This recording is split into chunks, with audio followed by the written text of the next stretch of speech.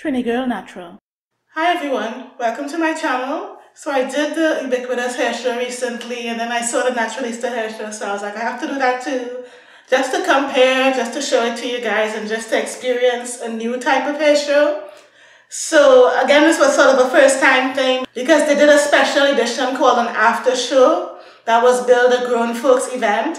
So I had to go check out this grown and sexy hair show for you guys and just let you know let you know what it was about, how it was, was it like the truth or not, and so on. And of course, I have a whole video coming up, so stay tuned for that as well. so, let me show you what it was, and then I'll come back and review it. Take a look. So I'm at the hair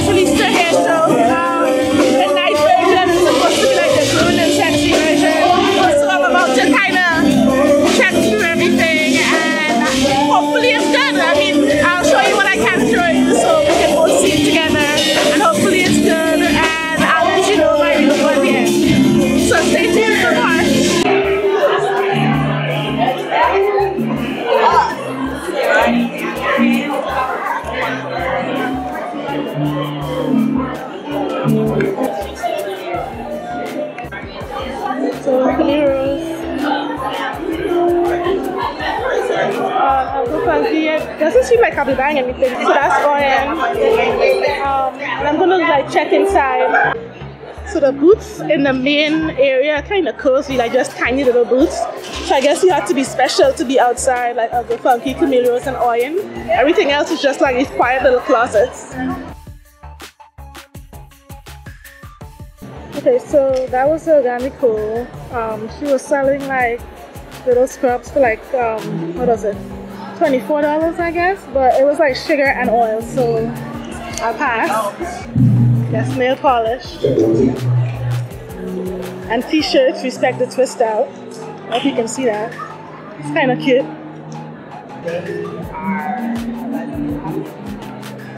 Hey y'all, how y'all doing?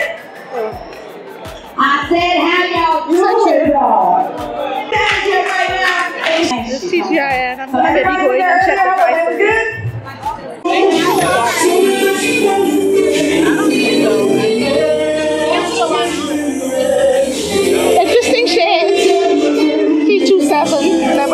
I guess maybe you guys have.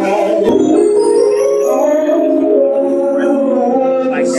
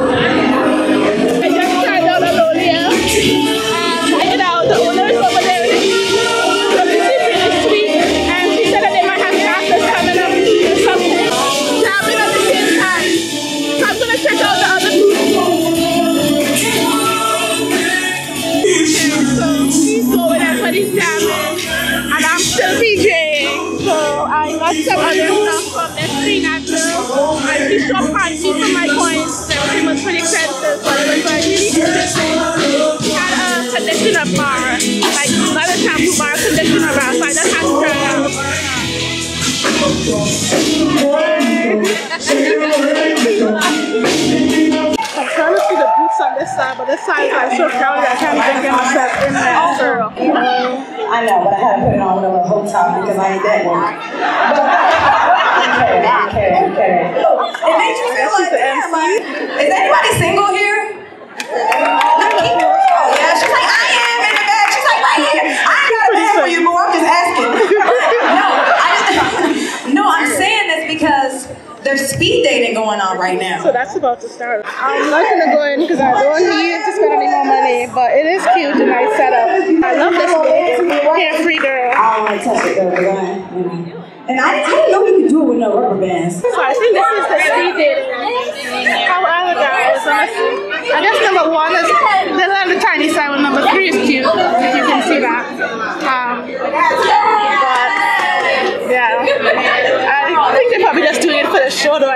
they're seriously doing it. So, but and I'm a free of kid, and there's a guy in the corner. I don't know if he's like a dater or just a watcher, but some, it was interesting the way people dressed. Like some people really got fully boobs out and stuff, and some people were pretty casual. So it's like an interesting mix of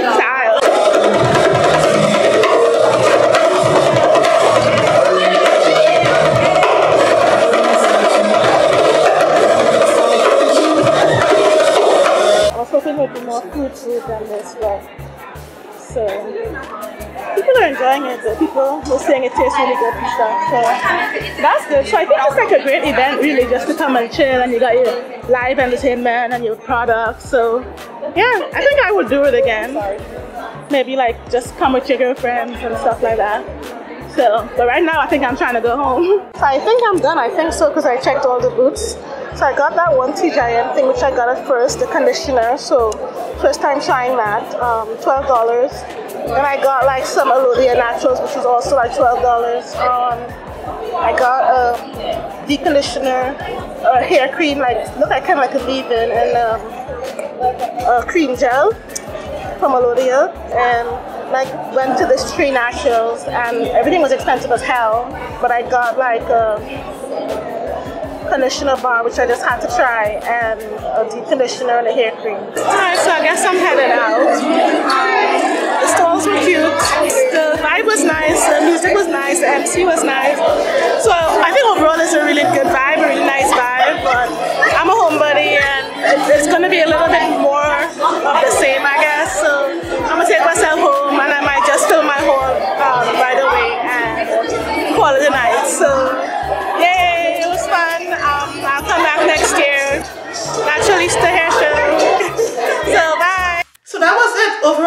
Fun. I loved kind of shopping with the food, with the music, with the MC and the DJ. Like it was just a whole other level.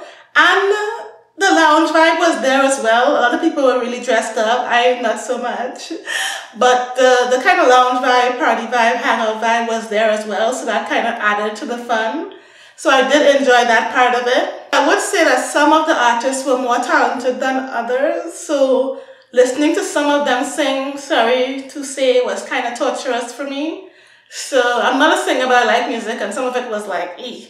But some of them were good as well. So I really enjoyed the first guy who was singing. The other singers, mm, one was really bad, one was kind of sometimes bad. So they definitely could work on the quality of the guest performance, I guess. But the MC, she was really good. She was really funny. The main stage area was way too small for the event. So I know they had some chairs and I guess having seats are a good thing, but they needed to have more room around it for standing room because you have performers, obviously people are going to want to see it, but that area where the performers were, were really tiny as you saw, so it got really crowded and I think people probably wanted to see but couldn't. I guess hopefully next year they'll like adjust it and so on because this is the first year they're doing this side of it. I think there was salsa dancing, I didn't see it. Um, there was supposed to be a men's panel and a relationship discussion. I didn't stay for that. The speed dating was actually kind of cool to look at. I didn't participate. It seemed like they kind of just maybe hired three guys. I mean, the guys were well curated.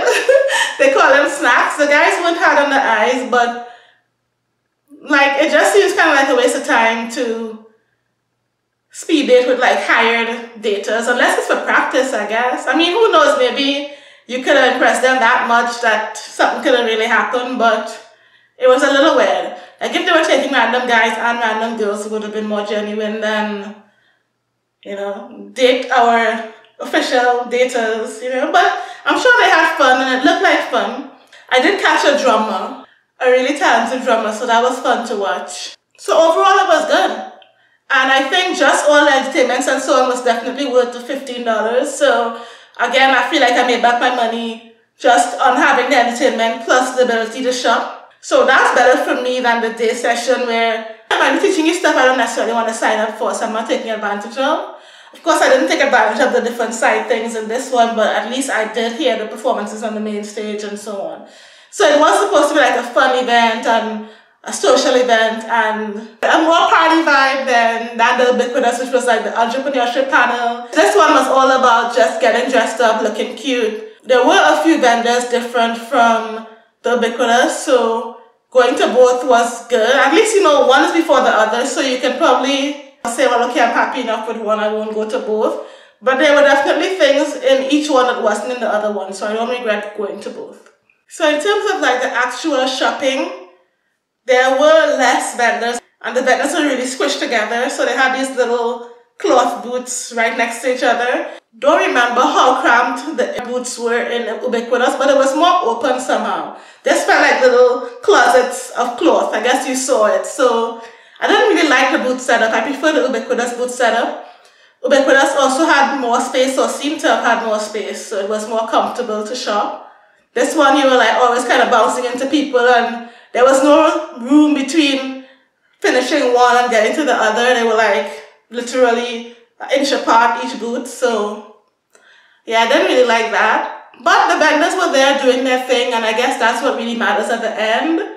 So I did get some stuff Camille Rose was there, Oyin was there, Uncle Funky's daughter was there, and they pretty much did the same sales as they did last time. So the Camille Rose was like $10 for everything, didn't get anything. Uncle Funky was like 30% off, and I forget what how much Oyin was. So I do want to support her. Her stuff just doesn't really grab me. Just not the most exciting ingredients, I guess. It is definitely looks good, moisturizing, you know, your typical straight aloe honey, but doesn't really get my PJ juices flowing, so I will try it eventually, but I didn't try it yet. I didn't see Maya Organics this time. I didn't see like Cantu and ORS and all the others that were there in Ubiquitous. So Ubiquitous is definitely bigger. But Ubiquitous better come up with an after show next time because that was bomb. That was like up in the ante of hair shows. So grown folks. so yeah, I would definitely recommend the after show and I would probably go to the after show again next year. I hope you were able to kind of experience the hair show with me. Definitely subscribe for more content and I will see you in the next one. Bye!